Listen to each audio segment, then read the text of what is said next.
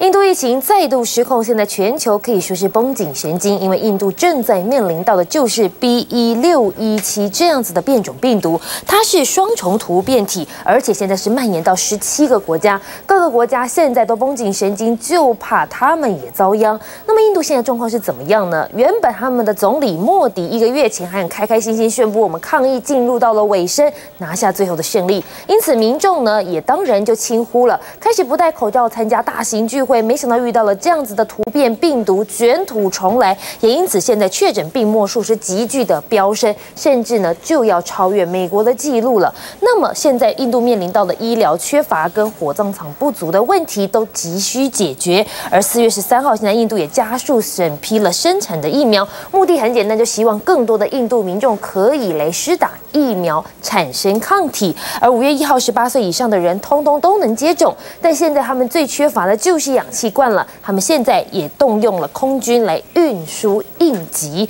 那么带你来看到了现在全球绷紧神经，那么到底应该怎么样协助印度呢？第一个就是直接捐赠疫苗，让他们赶快施打，产生抗体。再来就是取消原料的管制，让印度也可以生产更多的新冠疫苗，避免疫情持续扩散。请订阅、按赞、分享 TVBS 新闻频道，并开启小铃铛，也请下载 TVBS 新闻 APP，随时掌握国内外大事。